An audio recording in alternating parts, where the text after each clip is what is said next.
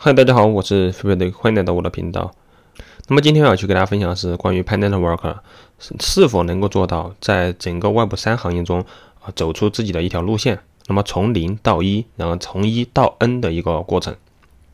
在以前的节目当中，我就给大家提到了，虽然说 Pi Network 它是属于区块链的一个项目，它走的这个路线呢，但它走的是传统企业的一个路线。那么既然它走的是传统企业的路线，那么我们呢就可能会把它当成一个商业的模型去看待它。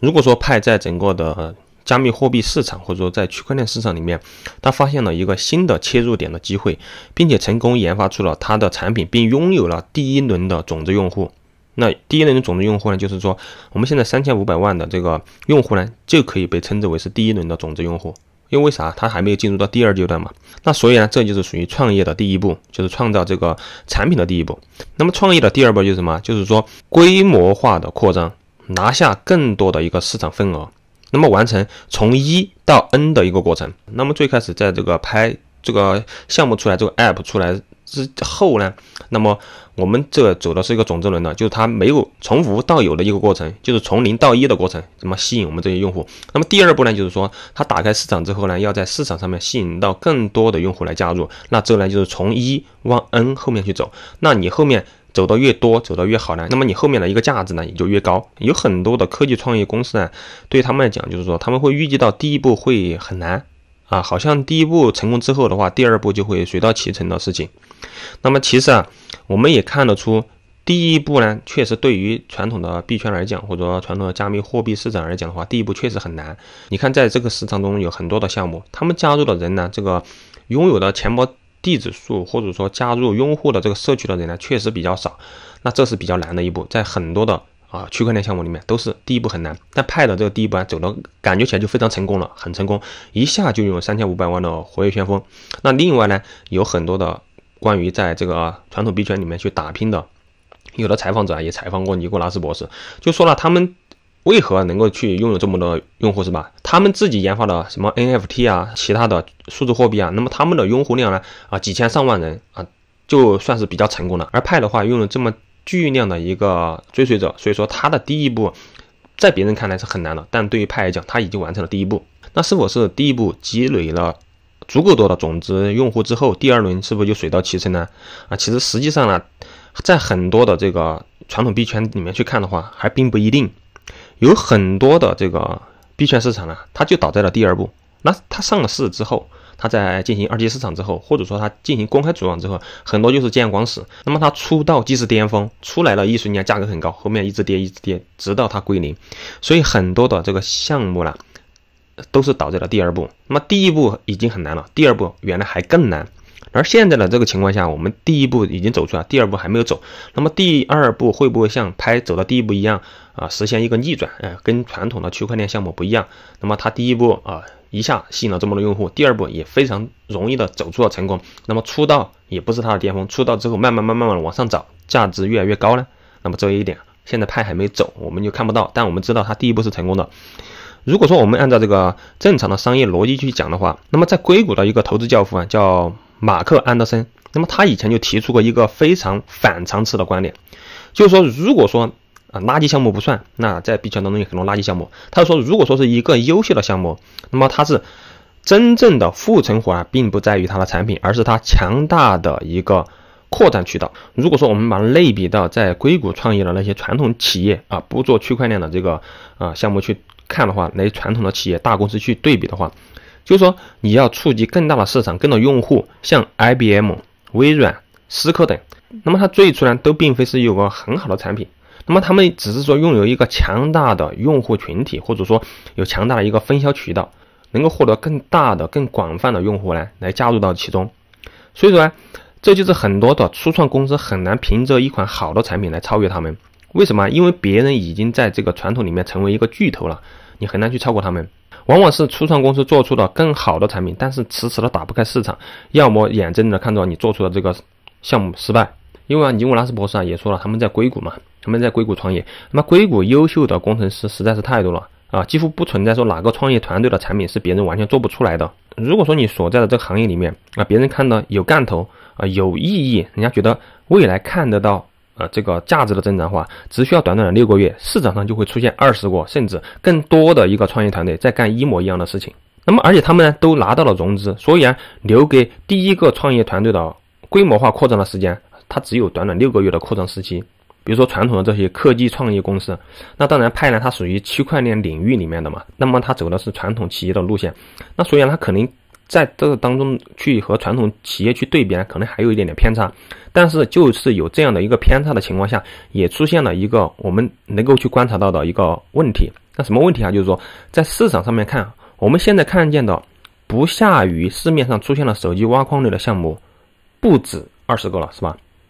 那当然，这里的话可能有很多呢没有去进行推广，大家不知道。其实由我们去进行观察的话，发现有市场上真的是不止有二十个手机挖矿类的项目。那么有的呢已经是做了上市了，那么有的已经是做死了，有的呢用户量一直上不去，有的呢啊用户量上去了之后啊，但是呢它还是不被人们认可。那么还有的呢是拿到融资的，有的是没拿到融资的。那所以看得出，如果说你要做一个产品的话，做一个类型的产品的话，啊，不缺这种创造者，或者说不缺这种工程师的，那么大家要做，肯定一下就做出来。那么派的竞争力在哪里？竞争力就是说，他第一个做的时候，他用的这个理念已经吸引到第一批的总智能用户。那么这一部分呢，就会卡死很多一部分人。那么很多手机挖矿类的项目呢，它的活跃先锋人数呢，是完全和派是没有办法去比拟的。而我们发现，在市场上有这么多的竞争之后呢，派的做法和传统他们的做法又感觉有点不一样。为啥不一样呢？再比如说这些呃，我们看到的手机挖矿类的其他项目啊，他们做出来都是说，科技创造者呢，往往是啊以产品领先，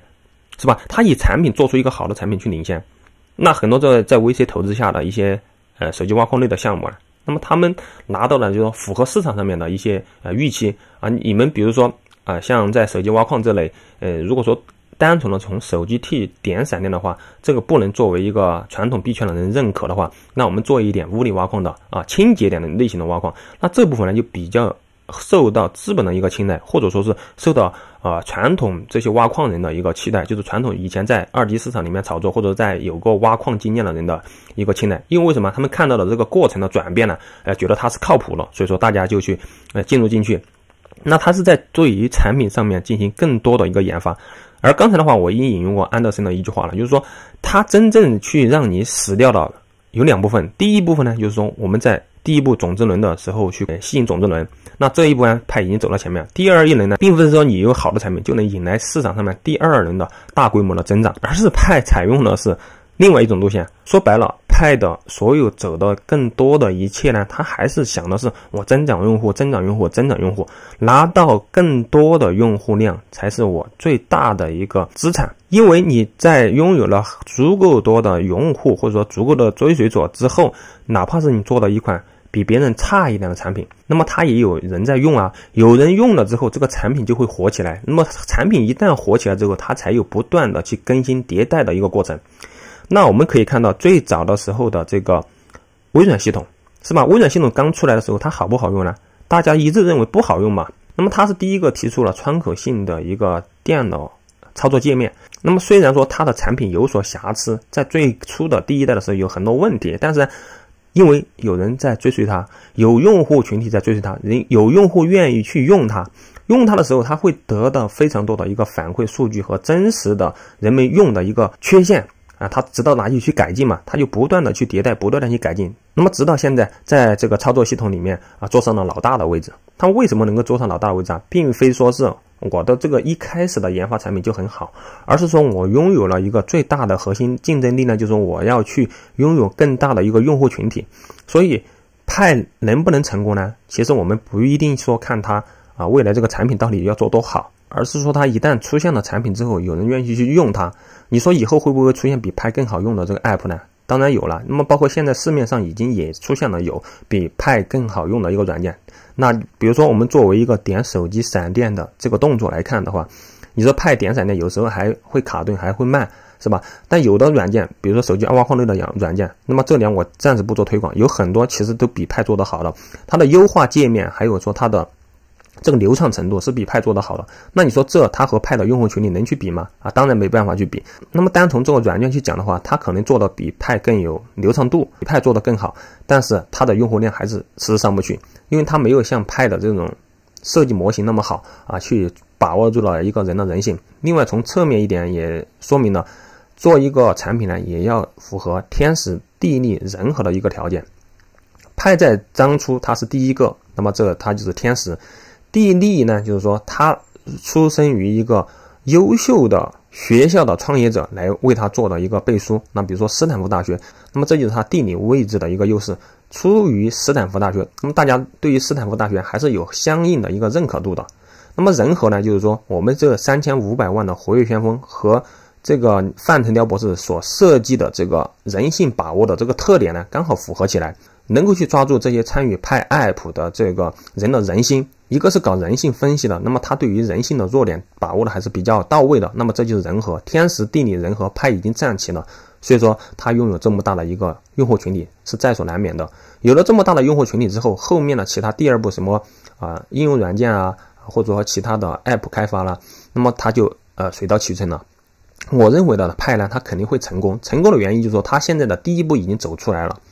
很多人会死在第一步，然后再倒在第二步。我觉得拍呢，它的第二步应该也会走成功，因为它第一步已经累积了相当深厚的一个用户群体所在了。它未来的成功也并非是我们啊一厢情愿的臆想。那很多人在黑派的时候啊就说啊，你们这派最终肯定上网就会死，上主网就会死，那么上交易所就会死，大量的抛售等等，可能在他们讲的这些会出现。比如说上交易所的时候，可能会出现大面积的一个抛售的情况，因为毕竟里面呢有很多人是白撸白挖的，那么他呢可能会信仰没有那么深，会将他手中的派币会抛压下去，会对市场里面呢造成很大的一个冲击或者说压力，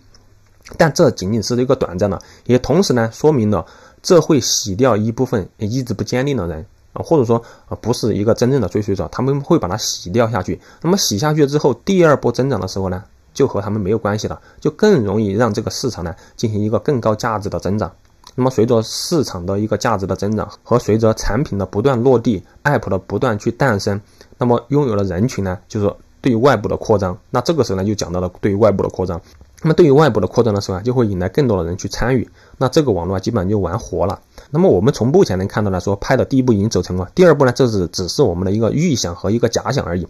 但至少从目前的推测来看的话，拍在未来呢走成功是毋庸置疑的啊。那在我来看来是毋庸置疑的。那好，这呢就是我今天要去跟大家分享的全部内容。那么以上内容呢仅仅是我个人的一个观点和我个人的一个看法。如果说你有其他的看法或者说其他更好的意见呢，可以在下方评论留言啊。如果说你喜欢我的视频，可以点赞、订阅并打开小铃铛，这样的话在视频更新的第一时间你就可以收到。那好，今天就这样了哦，我们下期再见。